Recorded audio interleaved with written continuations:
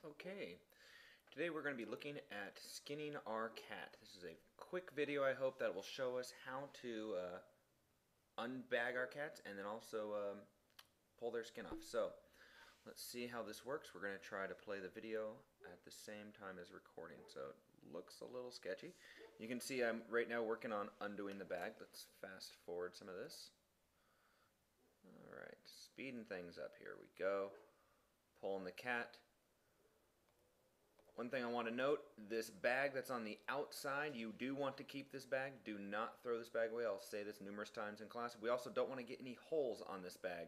We're going to write our name on the outside with a permanent Sharpie. Um, this is the bag that you're going to keep the entire time of this dissection, so do not throw this bag away. Make sure we keep it. Alright. The inner bag, on the other hand, we can go ahead and get rid of this one. So you can notice the gender of your cat is uh, labeled on that bag, male or female. We're going to cut the end off the bag here at the end. There we go. Cut that out. There's going to be a little bit of fluid. This is all preservative fluid that your cat has, uh, keeping it kind of moist so that we have no um, mold or anything else gross growing on it. We're going to just throw that bag away. And now we can take a look at the cat. Um, one thing you might notice, I'm trying to show you here, you'll notice there is a, a little piece of foam in the mouth. Let's keep the foam in the mouth. That's what's going to keep the teeth of the cat from catching on our bag and tearing it. So leave the foam in the mouth. You will notice also that down here there is a hole in the throat. That's where they drain the blood out of the cat. It's also how they are able to pump the preservative back into the kitty cat um, to kind of get it through all of the blood vessels and stuff to make sure the cat doesn't start to decompose on us here, okay? So kind of important, but notice a couple things there. Uh, let's get this thing to play again. Alright, yeah, you can see the little hole there in the throat. Okay, all the cats have it. Your cat wasn't like injured or something. That's that's again how they drained it of its fluid. Okay. All right. So first order of business is to remove the tail, and that's what this bone saw is showing. I will remove the tail for you if you'd like, or you can cut it off yourself. It just gets in the way. We're not studying any tail muscles, so once the tail is off, you'll put that in the dissection waste bin.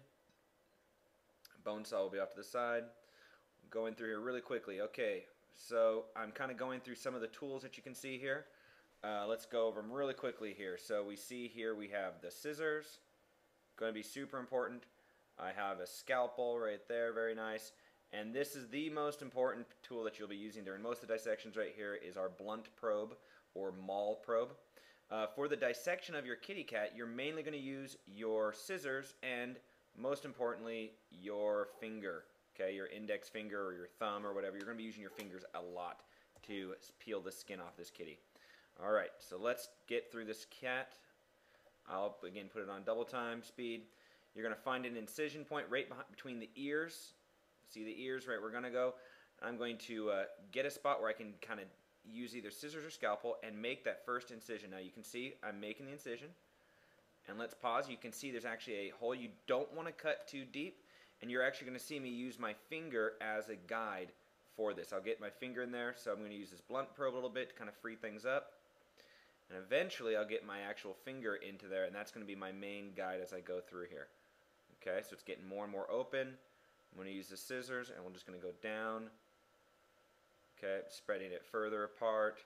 And now I'm using the finger to get underneath the skin. Okay, the finger won't tear muscle, but it will separate the skin from everything else. So let's speed this process up. Alright, we're going to work our way down all the way to the base of the tail, to kind of doing a re repetitive motion. You see I'm kind of pulling, get using my thumbs to kind of push down all the connective tissue.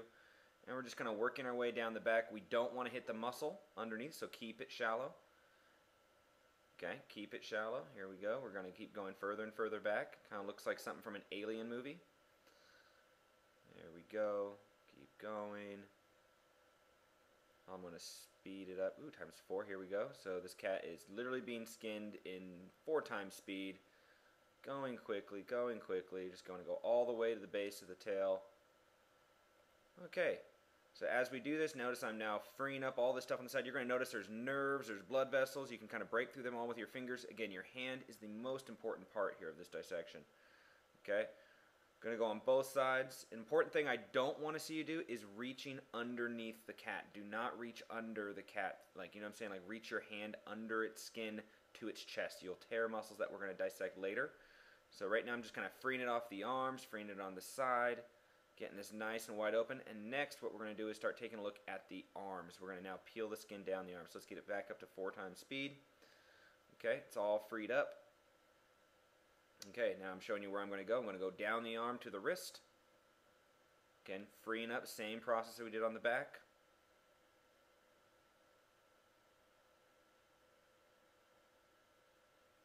Okay.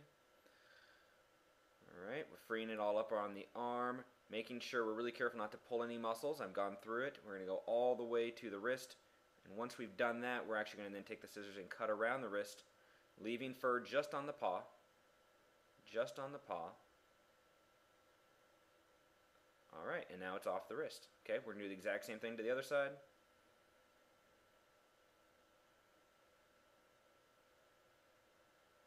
Might need to flip it, to get a better angle. My hands. Okay, cut all the way down to the wrist. Okay, you don't need to go to the fingers or anything like that of the cat. Just get kind of down to its wrist. I probably. There we go. My. Okay. Notice again what tool I have not used is the scalpel. Leave the scalpel alone. We're not. That's really a kind of a scary tool to use. We don't need to use the scalpel that often. I will notice one thing just to warn you guys about. You might see during your dissection, it kind of freaks people out. You might see um, muscles here on the wall of the skin. Okay, there might be some muscle that you'll see on the skin. That is not the same as the skeletal muscles we're looking at. Cats have um, muscles that help raise the hair on their neck and stuff, hair on their back. We don't care about those. They're very superficial. Yes, they're striated. You can actually see the fascicles, but don't worry about tearing those muscles. You're going to have to do that anyway. All right, um, towards the end here, we're going to go now go down to the lower legs. Let's speed this up again. Doing the exact same procedure I did on the arms. Going to go all the way down to the ankle. Okay, let's go to eight times speed. Let's go quickly. Here we go. All right. Peeling the skin down, going all the way down to the ankle. Okay. And go down to the other side all the way down to the ankle. Now we're not going to necessarily free it up just yet. I'm actually going to let you guys pull that skin off in a couple weeks when we're down in the leg region. Right now, there's no reason to pull it off completely. We'll just have it really well freed up, and that's about it. Okay, so the next part here of the video is where I'm going to now go from the neck, right where I started my incision, and go down to that opening on the throat. So you can kind of see where we're heading here. I'm kind of freeing up. I'm going to go all the way down to the throat. I'm using my thumb again to do this. So do you see where I'm starting here? let's see if we can show you kind of where this incision was.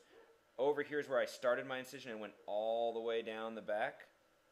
What we're going to do is now make an incision this direction and another incision that direction and connect around the head to this little hole that's on the other side of the throat, okay? See how this looks.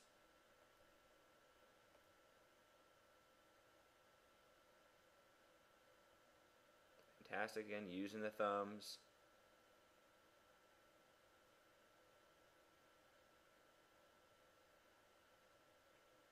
Alright, I think this is where this video ends, so let's quick